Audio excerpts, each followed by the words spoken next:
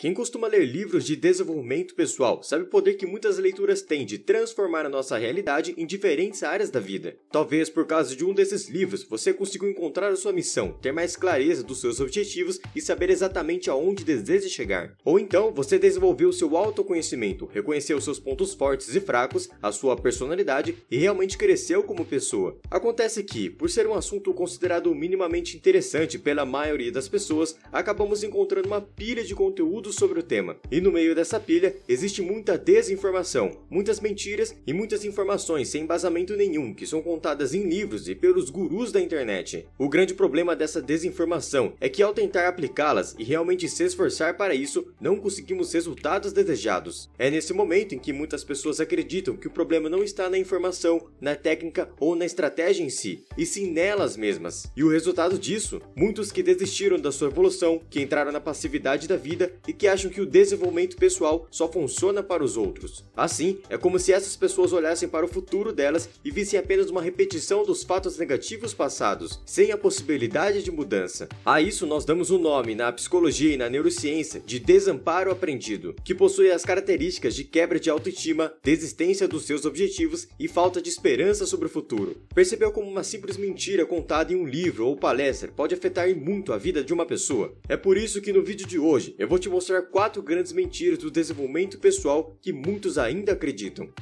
E se você gosta desse tipo de conteúdo, já deixa seu like, se inscreve aqui no canal e ativa o sininho, porque aqui tem 3 vídeos novos por semana. Meu nome é Gustavo, esse é o canal Faculdade da Vida e sem mais enrolação, bora aprender!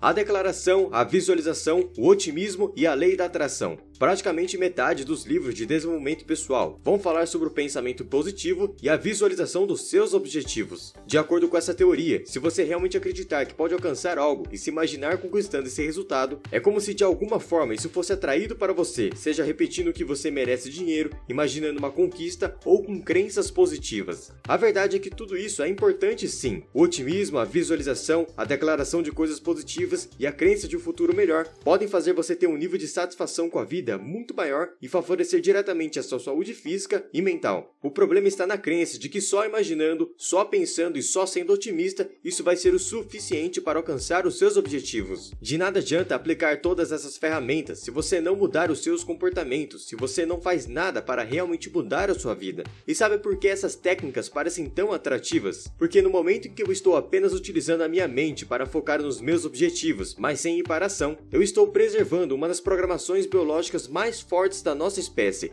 que é de não gastar mais energia que o necessário para a sobrevivência. Ficar no mundo das ideias é uma atividade extremamente prazerosa, pois nesse momento nós temos uma falsa sensação de que algo está sendo feito, quando na verdade nós estamos apenas mantendo os mesmos comportamentos diários e esperando que a vida mude sem o nosso esforço. É pelo mesmo motivo que muitos usam roupa amarela no final do ano, mas poucos estão dispostos a estudar sobre finanças pessoais. Por isso, lembre-se, utilize sim essas técnicas, mas saiba que é somente com a mudança de comportamento que a sua vida irá realmente mudar. Trabalhe com o que você ama e nunca mais precisará trabalhar na vida. Trabalhar com o que você ama é com certeza um fator extremamente importante para a sua felicidade e satisfação geral com a vida. Porém, mente aquele que diz que um trabalho que você ama será apenas de dias incríveis, somente com tarefas legais e sem nenhum problema. Essa crença do trabalho perfeito destrói a resiliência das pessoas, principalmente dos jovens, que no primeiro fracasso ou decepção no trabalho acabam desistindo de tudo. O que precisamos ter claro é que ninguém tem uma vida perfeita, todos nós teremos problemas e dificuldades no nosso dia. E mesmo que você ame muito um trabalho, terão algumas atividades no seu dia que serão mais chatas do que outras, e mesmo assim você vai precisar fazer. Te dou o próprio exemplo do YouTube. Quantos jovens você conhece que desejam crescer no YouTube? Eu não vou dizer que todos, mas muitas crianças e adolescentes querem ter seu próprio canal, com a crença de que esse será um trabalho muito legal e fácil. Mas de todos os jovens que começam um canal com essa crença de uma vida perfeita somente de prazeres, praticamente 95 95% deles acabam desistindo no caminho. Pois falar do que você gosta pode até ser legal, mas e a edição do vídeo? E o processo de divulgar e escrever os roteiros? E será que você está com a mentalidade certa para postar vídeos durante meses e meses sem ninguém te assistir até um dia ter mais visualizações? Quando os problemas aparecem, quando os dias ruins chegam e os desafios se tornam maiores, a maioria desiste dos seus sonhos. Ao traçar um objetivo que você tanto deseja, seja na vida pessoal ou profissional, não olhe apenas para o resultado final, olhe para o caminho a ser percorrido. Quando por motivação eu começo, por desmotivação eu desisto, e com a clareza dos meus desafios, eu construo a minha disciplina. Para ser próspero, eu preciso acordar às 5 horas da manhã. Nos últimos anos, o famoso clube das 5 horas tem se tornado cada vez maior, com mais pessoas que acreditam no milagre que amanhã pode trazer. Agora eu te pergunto: uma pessoa que chega do trabalho meia-noite, que é mais produtivo no período da tarde e odeia acordar cedo, terá algum resultado às 5 horas da manhã? Obviamente, essa pessoa, além de estar sendo bem menos produtiva, estará afetando diretamente a sua saúde com poucas horas de sono. Muito cuidado com essas teorias que dizem que uma simples técnica irá se aplicar a todas as pessoas que desejam a mudança, pois nesse momento, o que esses livros e gurus estão esquecendo é que cada pessoa é única, com diferentes personalidades e realidades. Caso o seu objetivo seja ser mais produtivo, a primeira coisa que você precisa saber é o seu cronotipo, ou seja, a melhor hora do dia para você. Se você quiser saber o seu cronotipo, Aqui na descrição eu vou deixar um link para o teste online do Christian Barbosa. Outro problema dessa teoria é que muitos ainda acreditam que só por acordar esse horário elas já serão pessoas mais prósperas. Mas a questão principal não é acordar cedo, e sim o que você decide fazer ao acordar cedo. Uma pessoa que acorda às 5 horas da manhã, mas passa esse período todo apenas assistindo Netflix, não mudará a sua vida. A teoria então propõe que você faça atividade física, meditação, visualização e outros exercícios pela manhã,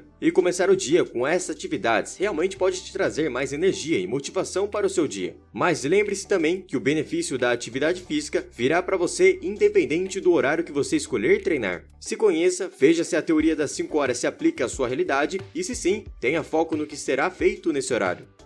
As fórmulas mágicas. A nossa mente tende a ignorar tudo aquilo que é pequeno e óbvio no nosso dia e dá mais foco para aquilo que é grande e chama mais a nossa atenção. Por exemplo, muitos me perguntam: eu ando me distraindo no meu trabalho, como que eu posso ser uma pessoa mais produtiva e focada? E eu respondo rapidamente: por que você não tenta desligar o seu celular e deixar ele longe quando você estiver estudando ou trabalhando? Nesse momento, sabe o que a maioria pensa? Ah, mas só desligar o celular é muito óbvio e isso não vai mudar a minha produtividade. O que essas pessoas estão fazendo nesse momento é ignorando o simples e buscando estratégias e metodologias complexas para produtividade. Muitas vezes, para resolver os problemas da sua vida, você só precisa fazer o óbvio bem feito e parar de buscar grandes estratégias. Se você quer ter mais saúde, por exemplo, por que você não larga o refrigerante ao invés invés de buscar uma fórmula mágica. E você pode me dizer que não tomar refrigerante é uma mudança muito pequena e simples que não é o suficiente para mudar a sua vida. Mas o que eu posso dizer é que se você toma 5 latas de refrigerante por semana e decide cortar essa bebida da sua rotina, ao longo de um ano você estará deixando de consumir quase 9 kg de açúcar.